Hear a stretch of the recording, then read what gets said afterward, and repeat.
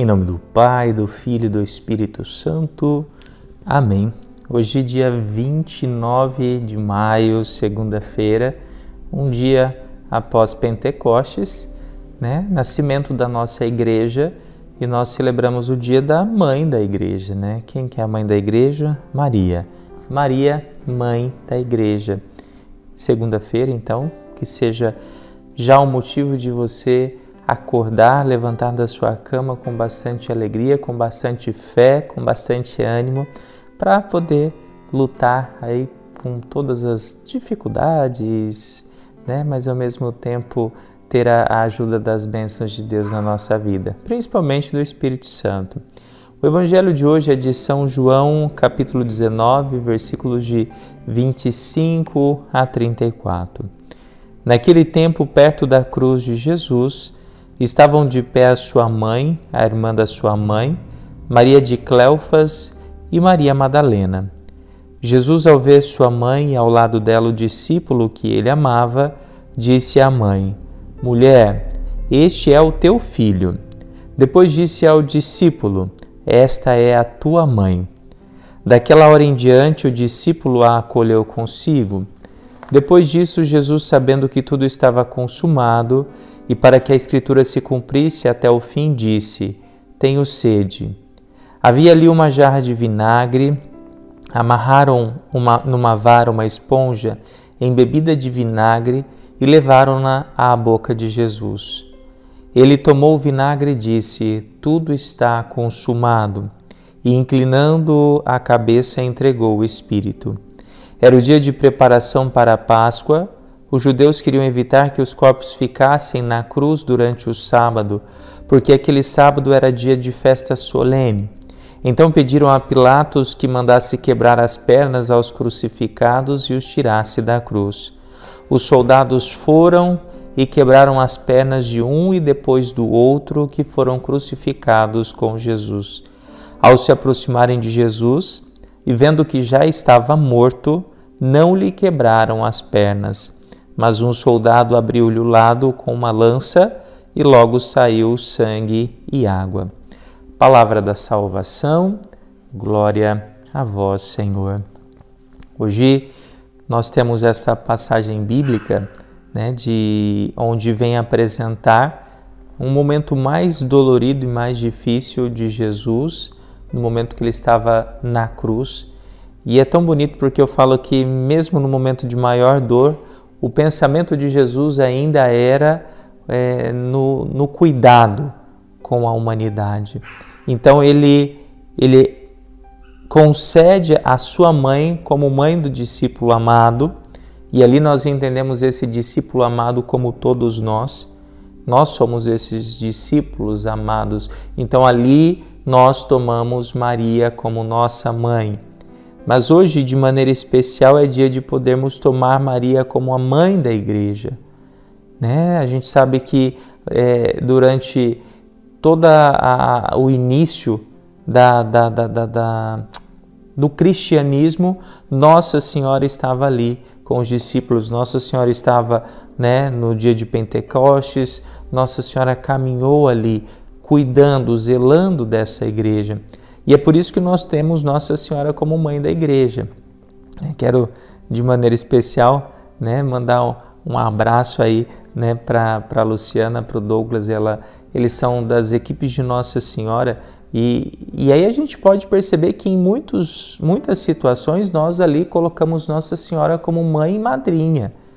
Né? As equipes de Nossa Senhora é um trabalho, um movimento tão bonito, onde é, se cuida dos casais, das famílias. E quem que é a madrinha, a mãe da, da, da, de, deste movimento? Nossa Senhora, por isso que se chama equipe de Nossa Senhora.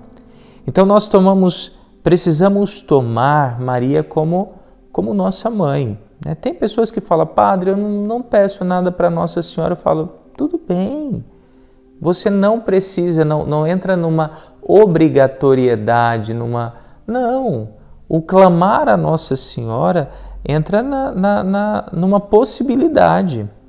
Mas eu, eu amo Nossa Senhora, né? até me chamo Túlia Aparecido, porque nasci no dia 11 de outubro e tenho né, um, um, uma gratidão aí por tantas situações que Nossa Senhora Aparecida ela foi intercessora. Mas você pode não querer, mas eu prefiro contar e não só contar, mas eu falo é, quando a gente, quando alguém gosta da nossa mãe, a gente fica mais feliz, não é? E eu fico pensando, né? É, a alegria de Jesus quando nós demonstramos também esse amor à Nossa Senhora, né? Essa alegria que nós precisamos, é, que nós entendemos e por isso ali também tomamos, assumimos a mãe de Jesus como nossa mãe, como mãe da humanidade, como mãe dos sacerdotes, como mãe dos casais, como mãe das famílias, como mãe né, dos religiosos. Ela é mãe. E é interessante porque a primeira leitura vem apresentar ali a realidade da mulher. Através da mulher, o pecado entra no mundo e através de Nossa Senhora, o pecado ele é eliminado do mundo, porque Jesus Cristo lava a humanidade do pecado. Olha que, que, que, que sentido, olha, olha como Nossa Senhora ela entra como essa nova Eva, mas uma nova Eva que vem né, servir no projeto e no plano de salvação. Né, e como mãe da igreja, nós também entendemos ela como né, a, a, a importância e o quanto ela intercede por essa igreja que passa por perseguição, que passa por dificuldade, que passa por problemas. Mas aí a gente sabe, ó, nossa mãe está cuidando dela, nossa mãe está ajudando. Então que nós, neste dia em que nós fizemos né, a, a nossa devoção a Maria, mãe da igreja, que nós possamos amar essa igreja como Nossa Senhora amou quando você fala mal da igreja, quando você fala mal do sacerdote, e quero falar até mesmo você que é de outra religião e está ali criticando o pastor ou, ou o ancião, ou, você está né, falando mal de você mesmo. Você está falando mal de algo divino. Então, se eu estou ali criticando, eu não estou servindo ali como como sinal da graça de Deus. Eu preciso amar essa igreja, porque Jesus amou essa igreja, Nossa Senhora amou essa igreja, que eu possa aprender com Nossa Senhora também a amar essa igreja. E, nós, e, e termos esse entendimento que a igreja somos todos nós. A igreja não é o templo de pedra. O templo de pedra é o espaço que acolhe né, os fiéis, mas a igreja somos todos nós. Então vamos rezar juntos. Pai nosso que estais nos céus, santificado seja o vosso nome, venha a nós o vosso reino, seja feita a vossa vontade, assim na terra como no céu. O pão nosso de cada dia nos dai hoje, perdoai as nossas ofensas, assim como nós perdoamos a quem nos tem ofendido e não nos deixeis cair em tentação, mas livrai-nos do mal. Amém. Que o Deus Todo-Poderoso te abençoe, Pai, Filho, Espírito Santo. Amém.